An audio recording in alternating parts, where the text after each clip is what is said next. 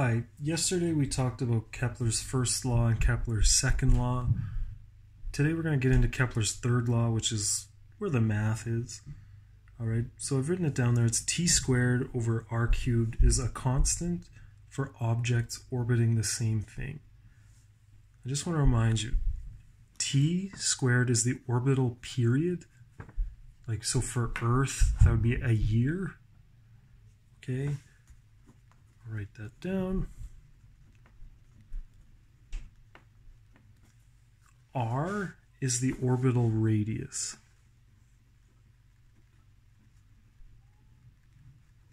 Which is the average distance the object is from what it's orbiting. Okay?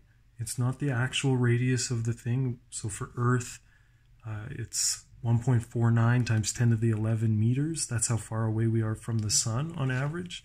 It's not the radius of Earth, it's the distance away from the sun. Okay? So Kepler noticed that this relationship was the same for all the planets orbiting the sun. All right? And it happens to be the same for any objects orbiting the same thing. So all the planets, t squared over r cubed is the same. t squared over r cubed for the moon is not the same as those because it doesn't orbit the sun, it orbits Earth. But t squared over r cubed is the same for the moon as it is for the International Space Station because they both orbit Earth. I've set up an example. Mars has two moons. They have cool names, Deimos and Phobos. So they both orbit Mars. We're going to be able to apply Kepler's third law to these guys. Phobos has an orbital, orbital radius of 9,378 kilometers, really close to Mars, and it's zipping around every 7.65 hours. Okay, this is actual data. Deimos is farther away, so it should have a higher period. We're going to find out what it is. Okay? So what we know is that t squared over r cubed is going to be the same for both of these moons. The way I'm going to set this up, instead of writing down what I wrote down Kepler's third law to be, I'm going to say t squared over r cubed for Phobos, do a little subscript p, equals t squared over r cubed for Deimos. So I'll do a little subscript d. This kind of eliminates the middleman. Instead of finding out what that constant equals, I really don't care.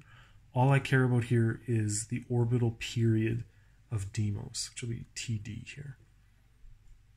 Okay, so this is one way of setting up Kepler's third law. You'll see questions like this.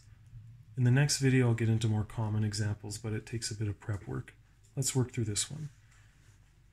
Check this out. This is nice. The units you use don't matter as long as they match. So I'm going to keep the period of Phobos in hours.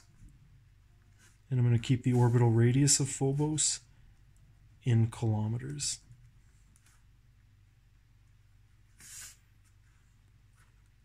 Okay we're looking for TD, the period of Deimos. RD is given to us right there. Now, just a disclaimer, you're going to be dealing with huge numbers in the denominators here. Okay, so I'm going to suggest, rather than uh, calculating these right now, just keep these as terms and do it all at once. I'll show you what I mean. The left is going to be 7.65 squared 9378 cubed. And you just got to multiply by this guy times 23460 cubed. Okay, this will eliminate, I think, some rounding errors. So I got my calculator here. 7.65 squared divided by 9378 cubed. Then I'm going to multiply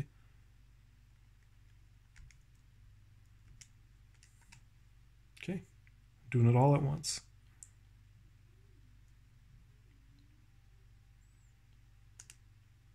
All right. Remember, that's squared though. So I'm going to take the square root of that. Hey, I'll show you how I do a square root. This is exciting, guys. I do to the power of 0.5. Saves me a couple of button strokes. Actually, just one, I think. You probably, you could do square root of the answer, which is really useful. Just give me some calculator tricks. Okay, So that's 30.3. The units match these units. So that's interesting. These moons are moving pretty quick. The orbital period of our moon is about 28 days, and a day on Mars is really, really close to a day on the Sun. So Deimos zips around just over, you know, a day and a quarter or so. But man, Phobos makes several passages every single day.